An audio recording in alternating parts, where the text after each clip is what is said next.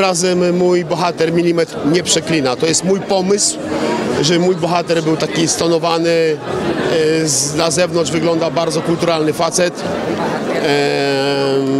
Pomoże No właśnie, a- przejść przez przejście, ale nie przeszkadza mu wrócić i, do kogoś strzelić. No właśnie, bo to będzie taka zupełnie chyba inna postać niż, niż którą grałeś w Botoksie. Chciałeś, czy jednak e, Patryk e, stawiał warunki? Nie, no ja chciałem mieć i, i, i kogoś zagrać kogoś innego, no żeby widzowie zobaczyli, że potrafię zagrać kogoś innego, więc to, to był mój pomysł.